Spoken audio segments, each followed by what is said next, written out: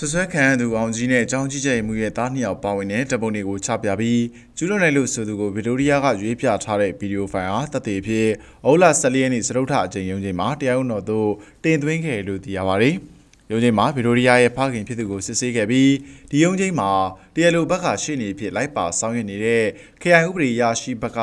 ဆွဆွဲခံရသူအောင်ကျော်မျိုးခေါ်အောင်ကြီးအားဗီတိုရီးယားကမိမိကိုလောက်တာဒီကိုကိုလို့ပြောဆိုထားတဲ့ဗီဒီယိုဖိုင်ဟာ တပ်သေးဖြစ်ဥစွာတင်သွင်းခဲ့ပြီးအဲ့ဒါကိုတရားရုံးကလက်ခံခဲ့ပါတယ်ဗီတိုရီးယားရဲ့ဖခင်ဖြစ်သူက CD မှတ်တမ်းကို format ပြောင်းလဲက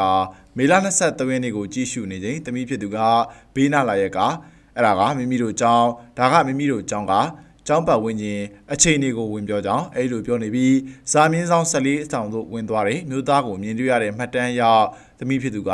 ဒါသမီးကိုလှုပ်တဲ့ကိုကိုလို့ပြောကြောင်းအဲ့နောက်မီလာ24ရက်နေ့မှာ CDB မှတ်တမ်းကိုကွန်ပျူတာထဲသို့ကူးယူခဲ့ပြီးကတ်တွန်းကားရည်နဲ့ရောထည့်ခဲ့ကကတ်တွန်းကားပြသခဲ့ကြောင်းကတ်တွန်းကားပြီးချိန် CCTV မှတ်တမ်းများရောက်ရှိမြင်တွေ့တဲ့အခါသမီးဖြစ်သူကမိမိကိုလှုပ်တာအဲ့ဒီကိုကိုတနက်နေ့တောင်ပြစ်ချင်တယ်ဆိုပြီးသမီးဖြစ်သူကပြောကြောင်းအဲ့လိုပြောတဲ့အချိန်မှာဗီဒီယိုမှတ်တမ်းတင်ခဲ့ကြောင်းစသဖြင့်တရက်ခွင်မှာ trust ဆိုခဲ့ပြီးအဲ့ဒီဗီဒီယိုဖိုင်ရိုက်ကူးထားတဲ့တယ်လီဖုန်းကိုတက်သေးဖြစ်တရားရုံးသို့တင်ခဲ့ပါတယ်။ ဒါပြင်ဆွဆွဲခံသူဘက်ကရှိနေကလည်းဗီတိုရီးယားရဲ့ဖခင်ဖြစ်သူရဲ့အကိုနဲ့အမားတို့က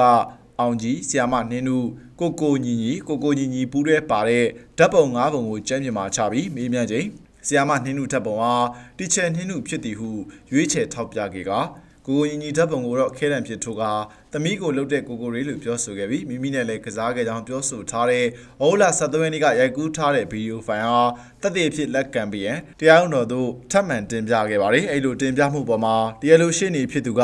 ဗီဒီယိုဖိုင်ဟာတရားစွဲတင်ဖို့ထားပြီးဖြစ်တဲ့အစဉ်မှာရိုက်ကူးထားတဲ့ဗီဒီယိုဖြစ်တာကြောင့် ရုံတော်မှာတက်သေးဖြစ်လက်မခံရလျှောက်ထားခဲ့ပြီးဆွဆွဲခံသူရှိနေဘက်ကလည်းယခုမှုမှာနင်းနာသူကလေးကိုယ်တိုင်ပြောဆိုထားတဲ့ဗီဒီယိုဖိုင်ဖြစ်လို့အမှုကိုဆုံးဖြတ်ရမှာတက်သေးဖြစ်လက်ခံမှာကအထောက်အကူများစွာဖြစ်စေကြောင်းနဲ့တက်သေးကံဖြစ်တင်သွင်းထားရှိတဲ့ဖုန်းတွင်းမှဗီဒီယိုဖိုင်များကို တည်တည်ကံဖြစ်လက်ခံမှသာလျှင်တရားမျှတမှုရှိမည်ဖြစ်ကြောင်းရုံးတော်သို့ပြန်လည်လျှောက်ထားခဲ့ပါသည်။နှစ်ဖက်ရှင်းနေများရဲ့လျှောက်ထားမှုပြီးတဲ့နောက်မှာ KI တရားသူကြီးကဆွဆွဲခံရသူဘက်မှတင်သွင်းလိုက်တဲ့ဗီဒီယိုဖိုင်ဟာတည်တည်ကံကားဖြစ်တင်သွင်းထားတဲ့ဖုန်းမှာပါဝင်ပြီးဖြစ်တာကြောင့်ဒီကြသက်သေခံတင်သွင်းဖို့လိုအပ်မှာမဟုတ်တော့တဲ့အကြောင်းအမိန့်ချခဲ့ပါတယ်။ဆွဆွဲခံရသူအောင်ကြီးဘမရှိနေဖြစ်လိုက်ပါဆောင်ရွက်နေတဲ့တရားလွှတ်တော်ရှိနေဒေါ်စုဒါလီအောင်ကရုံးတော်မှာ မင်းမြန်ပြောကြားခဲ့မှုများကိုအခုလိုပြန်လည်ပြောကြားခဲ့ပါတယ်ကျမတို့ဘက်ကနေဒါနဲ့ပတ်သက်ပြီးတက်တဲ့ကံကြီးတင်သွင်းတော့မှရုံးကပထမဒီအောင်ကြီးပါလို့လက်ညှိုးထိုးပြတဲ့ဖိုင်ကိုတင်ထားတဲ့ဗီဒီယိုဖုန်းထဲမှာပါပြီးသားဖြစ်ဖုန်းထဲမှာပါပြီးသားဖြစ်တဲ့အတွက်ဒါတက်တဲ့ကံတီးတန့်သွင်းစရာမလိုဘူးဟိုလက်မခံတာမဟုတ်ဘူးလက်ခံတယ်တီးတန့်သွင်းစရာမလိုပါပြီးသားဖြစ်တဲ့အတွက်ဆိုပြီးရုံးကဆုံးဖြတ်လိုက်တာကျမတို့ကအဲ့အောင်ကြီးကိုဗီဒီယိုဖိုင်လက်ညှိုးထိုးပြီးတင်ပြလာတဲ့ဗီဒီယိုထောင်ကျမသေးသေးချာချာသေးသေးချာလေးလာကြည့်တဲ့အခါမှာစက္ကန့်ပိုင်းပဲရှိတယ် အောင်ကြီးကဟိုဟာကာမီယာထွက်လာတာစက္ကန့်ပိုင်းပဲရှိရစက္ကန့်ပိုင်းဟိုမှာ CCTV ရှိရဘက်ကိုကြည့်ရတယ်သူကအကုန်ကြားပြီးဖြစ်မှာပါအလွန်ဆုံး1စက္ကန့်2စက္ကန့်ပေါ့နော်အဲ့ဒီအတွက်ပြီးတော့ဗီဒီယိုဖိုင်ကဝါတယ်အရန်ဝါတယ်ပြီးတော့ဝေးရရိုက်ထားတာဖြစ်တဲ့အတွက်ဒီတစ်ချက်တည်းကြည့်ရနဲ့တော့ဒါအောင်ကြီးဟုတ်မဟုတ်မသိနိုင်ဘူးအဲ့ဒီအတွက်ဒါ ဟိုဘဒုစပွဲဝါဆိုတာတက်တက်ကွက်ကွက်မသိနိုင်ဘူးလို့ပြောတော့